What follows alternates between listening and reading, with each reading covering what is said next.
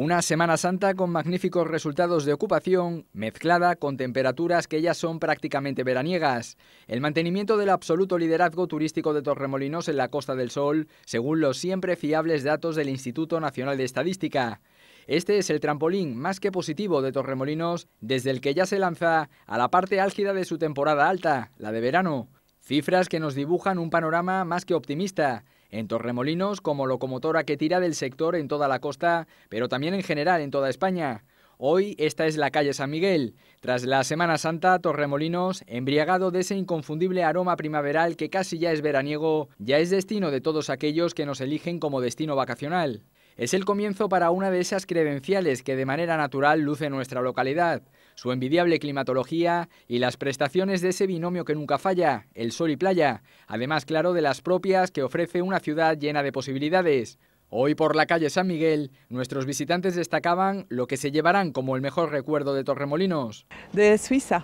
Me gusta la, la gente, mucho, mucho la gente, los españoles.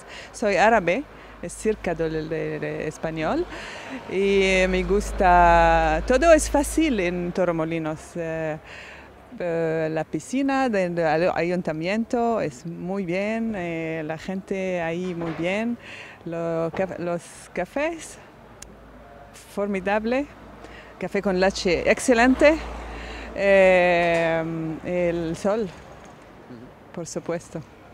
Hombre, tenemos el sol, tenemos la playa, tenemos eh, muchas cosas bonitas, muchas cosas bonitas, claro. Y bueno, y la gente también es muy agradable.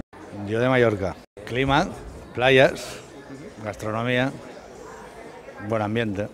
Que viene la gente, se ve la gente relajada, yo estaba en Madrid trabajando y se ve la gente muy estresada, que van por los pasos peatones que, que van corriendo y todo eso.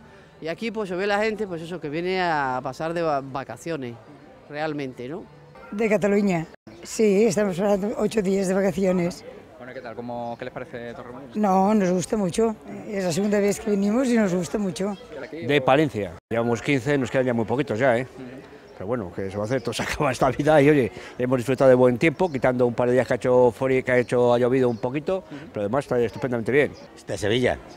Oh, yo no conocía esta calle, que hemos, vamos, que vamos, impresionante, de aquí hasta la playa, estamos en la Carihuela, hemos estado todas las, todas las playas, vamos, bastante bien.